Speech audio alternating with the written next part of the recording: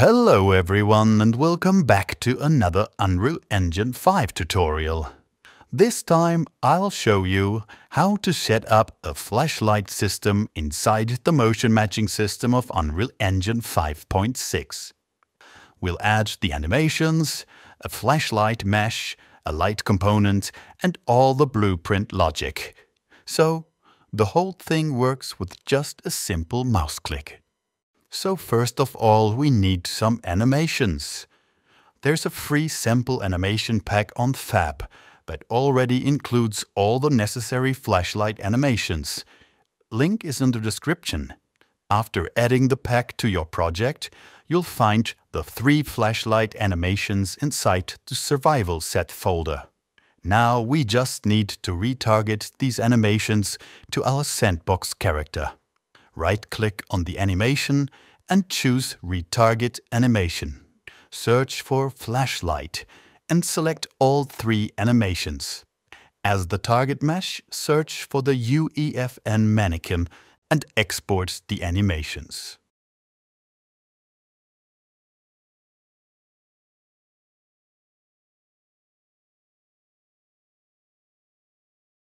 Let's begin implementing our mouse click event to toggle between the original idle and the flashlight idle animation. Open the sandbox character blueprint and go to the event graph. Right-click and search for left mouse button. Drag out the pressed pin and add a branch node. Here we want to check if the flashlight is already on or not. For this, we need a new variable.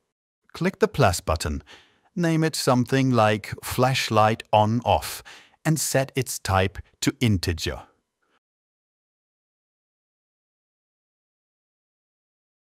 Compile and set the default value to 0.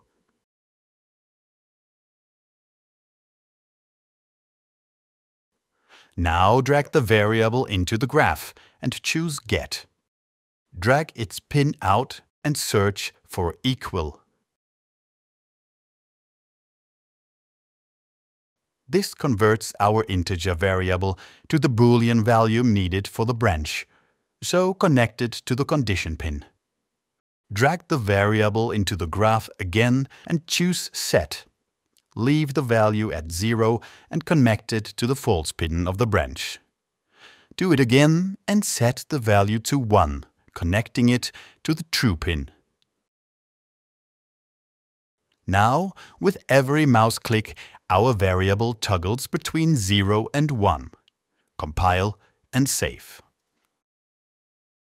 Open the animation blueprint of the sandbox character and switch to the event graph.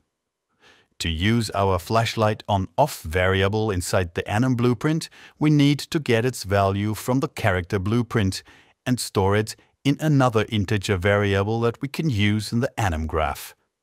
Click the plus button, name it idle state and set its type to integer.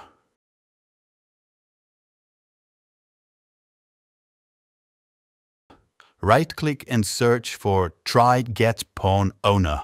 Drag the blue pin out and search for cast to CBP sandbox character. Drag the blue pin out again and search for flashlight on off. Then choose Get. Next, drag the idle state variable into the graph and choose Set. Connect the green pin to the green pin and the exec pin of the cast node to the input of the set variable node. Now we have the integer value of the flashlight on off variable stored in the idle state variable. Finally, we need an event to trigger this every time. Insert this chain directly after the Event Blueprint Update animation node. Compile and save. Now switch to the anim graph. Here we want to add our idle animation if the flashlight on-off variable is 1. First, break the link between the default slot and the offset root bone and drag the rest of the chain to the right to create some space. This node gives us the actual pose of the motion matching animation. let's store it inside a pose cache so that we can use it multiple times. Drag the pin out and search for cache. Choose New Saved Cache Pose and name it something like Original Pose. Drag and drop the retargeted idle animation sequence into the graph. Also drag the idle state variable into the graph and choose Get. Right-click and search for Use Cached Pose Original Pose. Next, drag the pin of the animation sequence out and search for Blend Pose by Integer. Connect it to the Blend pose 1 pin, connect the original pose to the Blend pose 0 pin, and connect the idle state variable to the active child index pin. Set both blend time values to 0.5 for smooth blending.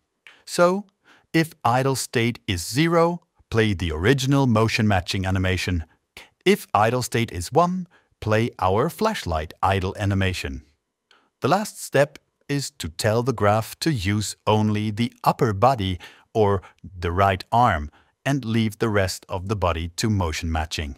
For this we need a layered blend per bone node. Connect the output pin of the blend pose by integer node to the blend pose input duplicate the Use Cached Pose node and connect it to the Base Pose pin. Select the Layer Blend per Bone node and in the Details panel add a new branch filter element. Set the bone name to the exact name of the skeletal bone where you want the blending to start.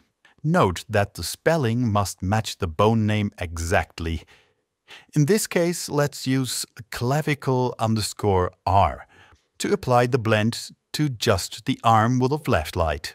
Connect the output pin to the offset root bone, then compile and save. If you now hit play, you can toggle between the idle states with a simple mouse click.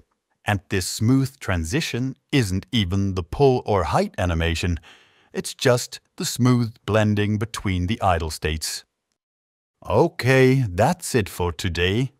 In part 2 of this tutorial, we'll add the pull and height animations, attach the flashlight mesh and light component to the character's hand, and set up the logic to control when they appear. See you in part 2. Cheers!